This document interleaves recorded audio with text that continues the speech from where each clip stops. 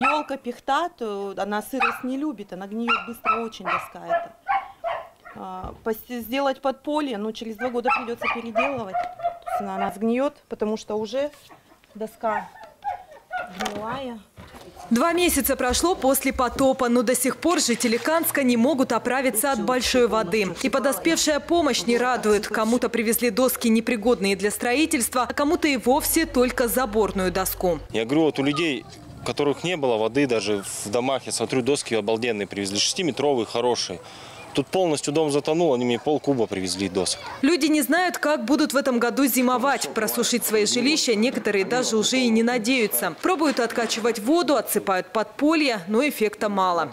Несмотря на то, что пиломатериалы получили, большинство пострадавших в этом году не планируют перестилать полы и ремонтировать свои подвалы. Все дело в том, что в них до сих пор стоит вода. И, похоже, до наступления холодов она вряд ли уйдет. Заготовки в этом году делать точно не будем, говорят пострадавшие. Хранить негде, да и делать не из чего. В огородах все стоит колом, и даже заборы накренились. Вот штакетник и бруски на прожиг. Еще привезут столбики. Просто их пока нет. Но они в плане у них привозят, и мы начинаем все менять. Валерий Ершов пиломатериалами, которые ему привезли, один из немногих доволен. Говорит, доски для дома уберет до следующего лета, а изгородью займется уже осенью. Я переживаю, я тут 30-й год живу, четвертую воду. Такая помощь первый раз в моей жизни, в моей практике. Привезли, нам хватает.